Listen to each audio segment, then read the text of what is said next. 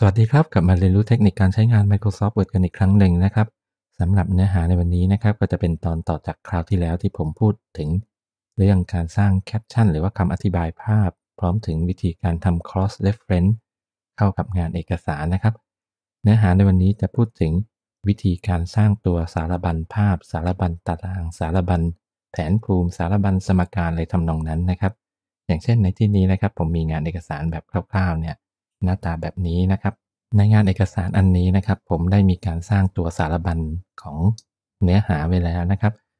คราวนี้ผมจะสาธิตวิธีการสร้างสารบัญภาพนะครับ อย่างเช่น รูปที่ 1 อยู่หน้าที่เท่าไหร่ รูปที่ 2 อยู่หน้าที่เท่าไหร่ รูปที่ 3 อยู่หน้าที่เท่าไหร่อะไรทำนองนั้นนะครับ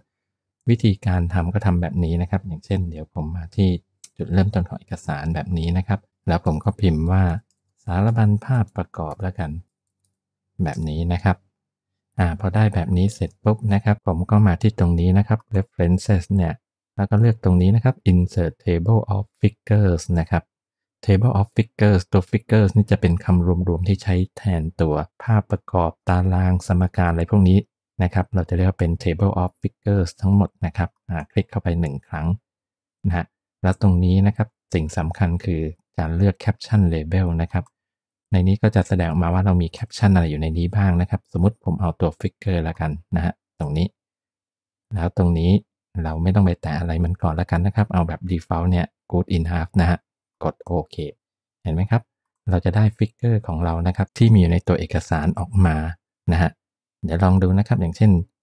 ตรง figure 3 star เห็นไหมครับ เรามีตรงนี้อ่าผมคลิกมาตรงนี้ได้ star สมมุติว่าผมแก้ตรงนี้นิดหนึ่งนะครับ บอกว่าเป็น Blue Star แบบนี้อ่าดูนะฮะถ้าผมแก้อันนี้นะครับ ผมกลับมาที่สารบัญภาพประกอบนะครับ มาคลิก1ครั้งนะครับ สังเกตว่าถ้าถูกต้องนะครับ ตรง figure 3ควรจะเขียน Blue Star ใช่ไหมครับ แล้วก็มาคลิกที่ตรงนี้กดฟังก์ชัน key F9 1ครั้ง แล้วก็บอก Update Entire Table นะครับ เห็นไหมครับ ตรงนี้จะเปลี่ยนเป็น Blue Star ไปล้วนะฮะหรือว่า ผมมาเดโมให้ดูอีกสักอันสองอันนะครับ เกิดผมมีการแทรกรูปอะไรเข้ามาก็ได้นะครับ ตัวสารบัญก็จะอัตโนมัติแก้ให้เราเองได้นะครับ อย่างเช่น ระหว่างรูปที่ 3 กับรูปที่ 4 เนี่ย ผมจะมีอะไรขึ้นมาอีกสักอันหนึ่งนะครับ ตรงนี้เนี่ย สมมติว่าผมก็เป็นตัวนี้นะครับ มา insert ที่ตัว picture แล้วกันนะครับ เอาที่อยู่ในเครื่องผมเนี่ยใส่เข้ามาหนึ่งรูปนะครับ แล้วก็ มาที่ references ตรงนี้นะครับ insert caption เห็นไหมครับ ตรงนี้ figure สีเนี่ย listening แล้วกันแบบนี้ กดโอเคดูนะครับ พอผมเติมตรงนี้เป็น figure สีนะครับ แล้วผมกลับไปที่สารบัญภาพ ตรงนี้ไม่มีใช่ไหมครับ ผมก็กดฟังก์ชัน key F9 นะครับ แล้วก็อัปเดตตัวนี้เห็นไหมครับ ผมจะได้ตัวฟิกเกอร์สีออกมานะคันนี้นอกจากสารบัญภาพประกอบแล้ว สมมุติว่าผมยังมีตัวสารบัญตารางนะครับ ผมก็สามารถพิมพ์ไปได้นะครับนะแล้วตรงนี้ผมบอกให้เป็น heading level 1แล้วกันนะครับ ได้ขึ้นหน้าใหม่ตรงนี้อ่าแล้วผมก็กลับมาที่ references ตรงนี้นะครับ insert table of figure ตรงนี้ราคานี้ถ้าต้องการสารบัญตาราง ผมก็มาเลือกตรงนี้ตารางที่ตรงนี้เนี่ยเห็นไหมครับ กดโอเคพอดีในนี้ผมมีแค่ตารางเดียวนะครับ เดี๋ยวผมจะลองเพิ่มตารางสักอันก็ได้นะครับ เอาสักจุดหนึ่งแล้วกันแถวๆนี้แล้วกันนะครับ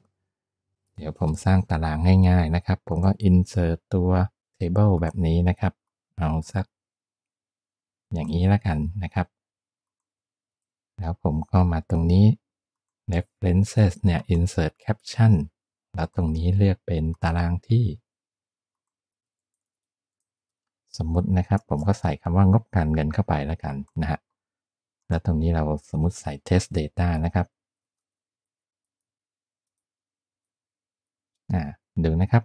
คราวนี้พอผมแทรกตารางตรงนี้ขึ้นมานะครับ ตารางที่ 1 ตัวที่เคยเป็นตารางที่1เนี่ยก็คือ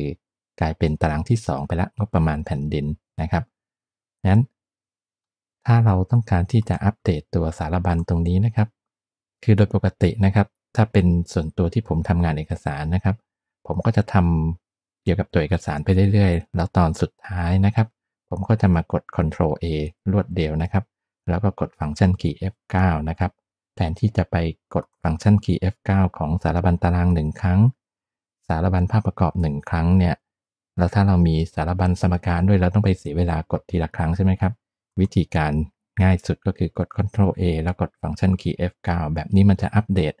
ทุกสารบัญนะครับ ทุกอย่างที่เป็นตัว field code นะครับ กด F9 นะครับแบบนี้เนี่ยเราก็เลือกอัปเดตไปเรื่อยๆนะครับ มันจะถามกี่ครั้งเราก็ตอบเหมือนเดิมนะครับ เลือกช้อยที่ 2 เสมอนะครับในนี้นะผมก็จะได้สารบัญภาพประกอบ สารบัญตารางเห็นไหมครับ เกิดขึ้นมา โดยที่พวกนี้นะครับบอกแล้วถ้าผมมีการเลื่อนตัวพวกนี้นะครับ ตัวสารบัญก็จะทำการจัดลำดับให้อย่างถูกต้องนะครับ อย่างเช่นผมเอาตัวงบประมาณแผ่นดินเนี่ยเลื่อนมาอยู่ก่อนนะฮะ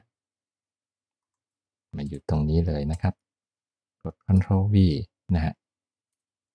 ดูนะครับ อันนี้ตารางที่1เนี่ยของผมนะครับ แล้วตรงนี้ สังเกตว่าพอเราเลื่อนมานะครับ ตารางมันยังไม่ running ให้แบบถูกต้องอันนี้ยังเป็นเบอร์ 2 ส่วนอันข้างล่างเป็นเบอร์หนึ่งก็ไม่ต้องตกใจนะครับ อันนี้เราก็กด Ctrl A นะครับ อย่างที่บอกไปกดฟังก์ชันคีย์ F9 ให้เครื่องมันอัปเดต ตัวพวกนี้ให้หมดนะฮะนะครับพออัปเดตเสร็จเห็นไหมครับ ตรงนี้เป็นตารางที่ 1 และอันนี้เป็นตารางที่ 2 แล้วถ้าเรามาดูสารบัญตารางนะครับ ตรงนี้นะครับ ในบางครั้งนะครับ Word จะมีปัญหานะครับ ถ้ามันมีปัญหานะครับ เราก็กด Ctrl A แล้วก็ฟังก์ชันคีย์ F9 อีกรอบหนึ่งนะครับ ให้คำนวณใหม่นะครับสักสองรอบเนี่ยชัวนะครับ เห็นไหมครับ คันนี้เป็น 1 2 ละ